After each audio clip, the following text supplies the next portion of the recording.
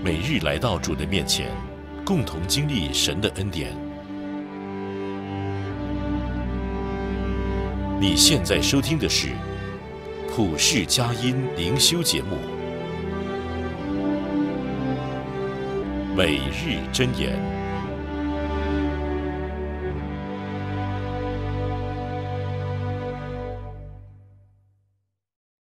回归之路的起点。参考经文。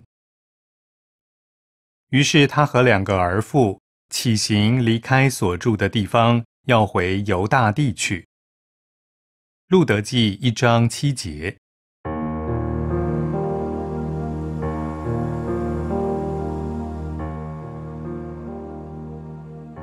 当你意识到离家很远时，会发生什么呢？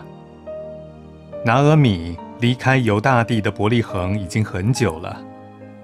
由于饥荒，她和丈夫搬到了摩押，他们的儿子也在那里长大成人并娶妻。丈夫和儿子相继去世，拿俄米也经历了巨大的悲痛。在那个时代，做寡妇是非常困难的，因为一个家庭要靠男人来提供食物、住所和支撑，因此。当拿俄米听说上帝在伯利恒赐下食物时，他就想要回到伯利恒，看看上帝如何在我们的生活中做工，是一件有趣的事情。无论我们走到哪里，上帝都会看顾我们。有时在危急的情况下，我们可能会被吸引，以新的方式寻求神。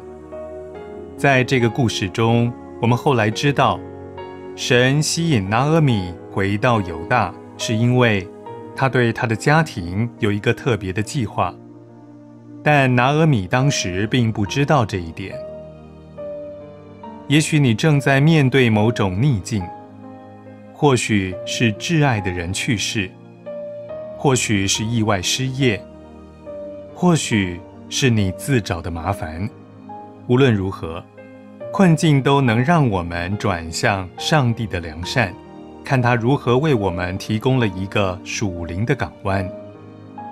无论我们身在何处，愿上帝帮助我们看到，只有通过他的儿子基督，我们才能在他那里找到真正的家。让我们一起祷告。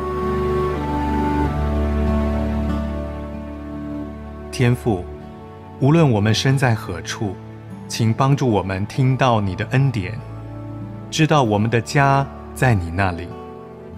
奉耶稣的名，阿门。